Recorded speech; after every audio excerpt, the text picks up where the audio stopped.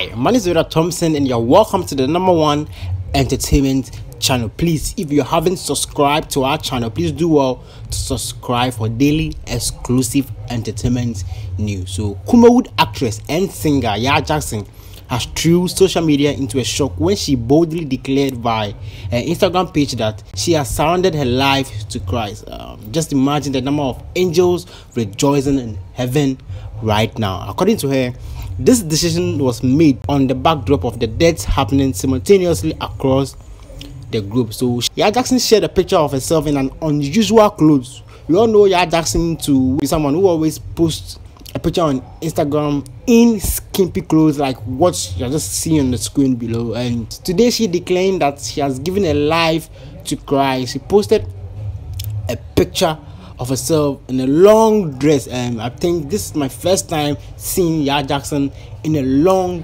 dress. So she posted that past life over, recognizing my savior now and in him is life. I'm more than aware now we will die and leave everything on this earth. My repentance is because of the death happening across the world now. Save me, Daddy. Jesus. So Yaa Jackson has given her life to Christ Jesus and she's now born again.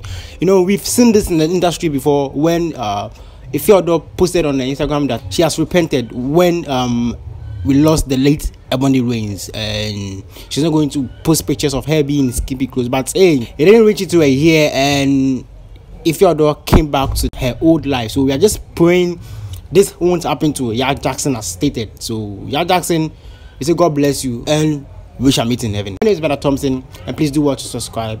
Leave your comments below and come back for daily exclusive entertainment news. Big ups.